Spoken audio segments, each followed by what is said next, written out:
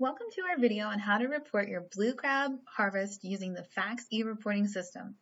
As part of the electronic reporting program, you will be required to send a trip start hail and a trip end hail for each day that you crab.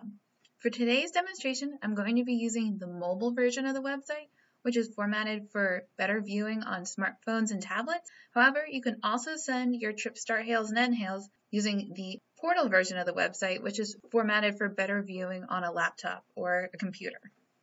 So to first start things off, I need to log on to my FACTS account. I'm going to enter in my username and my password and click the blue log on button. This will take me to my main page and I'm going to select the enter and revise hails button. At my fishery selection page, I'm going to click on blue crab. And now we're going to see our current trip details page. Here we have a few options, but we're going to select the first one, which is start a new trip. Next, we're going to see our trip start details page. As you can see, several of the items are already filled in for us. This is because FACTS remembers what we saved in our preferences and fills this in for us so we can reduce our time in reporting. So we have our hailing date, our license number, our VRN, which is from our preferences. However, if we want to change it, we can either click on it for a dropdown or go on Add, Edit, or Remove. Next, we have our crew count. Remember, this is the number of people on your vessel other than yourself. So today I have one other person helping me out, so I have one in there. Next is our gear type. Today I'm going to use crab pots. However, if I wanted, I could click on it and select one of the different options for gear. I'm going to move down the page. Next is our landing details section. Here we're going to estimate the time that we're going to go back to the dock and offload our harvest. So for me, I'm going to set it for 2.30. In our landing location, here I have mine set up as my dock. However, as before, we can change it by adding, editing, or removing it. If we move down to the bottom, we can click on the blue Send Trip Start Hail button. And this will take us to our current trip details page. Here we have a few options. We can send our trip end hail.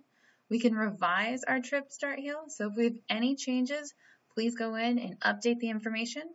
We can also have the option of canceling our trip However, you cannot cancel a trip if you have harvested.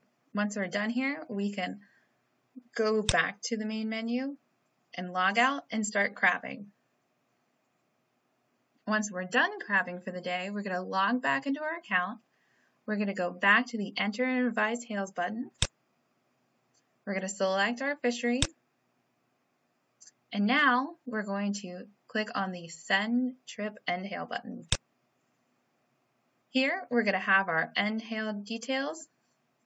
We're going to verify that's still the same with our VRN, our crew count. Next, we're going to have our area crabbed. As you can see, this is the same as the paper form where we have NOAA codes. Now we have our landing details. We want to verify that information has all been the same. We move down the page more, we can see our gear details section. I'm going to enter in the number of crab pots I pulled today, which is 300. Our gear unit here for pots is set to each. However, if we are trot lining, we could enter in the feet or yardage of our trot line. Now for the hours crabbing, I'm going to put in four and a half hours. And then we're going to put in the maximum crab pots on the water today, which was 500. If we move down a little further, we can see our harvest details section. Our first question is going to ask us, do we have harvest from this trip? I'm going to say yes. And how am I reporting my harvest? I'm going to do in bushels. However, you can change this to pounds. We move down the page even further, we have our crab categories. So how many bushels in number ones? I had two bushels. For number twos, I had one and a half bushels. For mixed males, I had zero bushels, and for females, I had one bushel. Note that our soft shell and our peelers done by each. So for soft shells, I had a dozen, so I'll enter in 12. And for peelers, I had 30. If we move down a little bit more, we can see our market destination details page. So of all the crabs I caught today, it's going to ask you what percent are going where. So for me, 50% are going to restaurants, 25% are being sold to the public, zero are not going to be sold.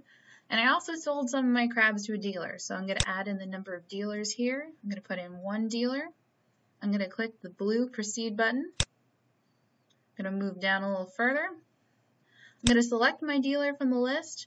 Since my dealer is not listed, I'm going to click the other. And now I'm going to enter in the percent of my crabs that went to this dealer. So that was 25%. Now that I've reviewed my whole end hail, I'm going to click on the blue Send Trip End Hail button at the bottom of the page. And this is going to take us back to our current trip details page. As you can see, we can revise any of our information up to midnight of that day. We can cancel our trip. However, as I mentioned, if there is harvest, you cannot cancel the trip. And if we're done, we can go back to our main menu and log out. Thank you for watching our video on how to report your commercial blue crab harvest using the FACTS e-reporting system. Please feel free to check out the rest of our videos to learn more about electronic reporting.